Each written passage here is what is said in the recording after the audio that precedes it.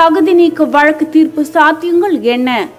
பதினெட்டு எம்எல்ஏக்கள் தகுதி நீக்க வழக்கில் இன்று வெளியாக உள்ள மூன்றாவது நீதிபதியின் தீர்ப்பு தமிழக அரசியலில் என்ன மாதிரியாக சூழல்களை ஏற்படுத்த வாய்ப்பிருக்கிறது?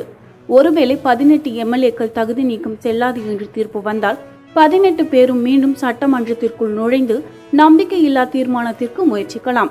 தகுதி நீக்கம் செல்லாது என்று அறிவித்தால் அதை எதிர்த்து அரசு மேல்முறையீடு செய்யலாம். அப்படி செய்து இடைக்கால தடை பெற்றால் தற்போதைய நிலையை தொடரும். வழக்கு உயர்நீதிமன்றத்திலிருந்து உச்ச நீதிமன்றத்திற்கு மாறக்கூடும். தகுதி நீக்கம் செல்லும் என்று ஒருவேளை அறிவிக்கப்பட்டால் பதினெட்டு பேரும் உச்ச நீதிமன்றத்தில் மேல்முறையீடு செய்யலாம். மேலும் தகுதி நீக்கம் செல்லும் என நீதிமன்றம் அறிவித்தால் மேல்முறையீடுக்கு செல்லாமல் பதினெட்டு தொகுதிக்கான இடைத்தேர்தலை சந்திக்கவும் தயாராகலாம்.